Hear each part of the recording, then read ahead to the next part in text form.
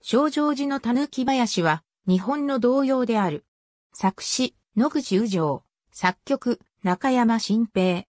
千葉県木更津市の小城寺に伝わる狸林伝説に層を得たもので、曲は1925年に発表された。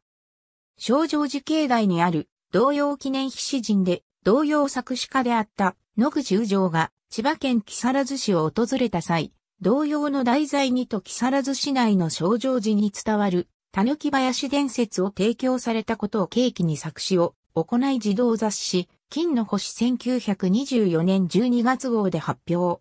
その後、中山新平がその歌詞をもとに改作詩曲をつけて、児童雑誌、金の星1925年1月号で発表した。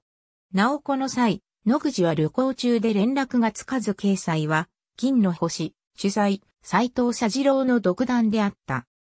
少々少女寺少女寺の庭はつつつきよだみなでて、くるいらいらいよいらの友達やポンポコポンの、ポン負けるな負けるなお嬢さんに負けるならいい、くるいらい、くるいらいらいみなでて、くるいらいらい少々少女寺少女寺の萩はつつ、月夜に花盛りおいらは、浮かれて、ポンポコポンのポン、中山の詩は、最初の出だし、しょしょ、しょ、小常時に見られるように、同じ音の繰り返しを多用することで、リズミカルで軽快な音楽になっている。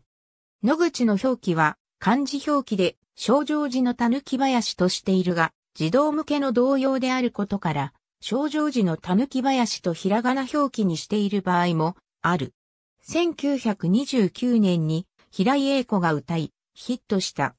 戦後から1960年までにレコード売上は17万枚に達し、ロングヒットを続けている。木更津市のマンホールの蓋。ありがとうございます。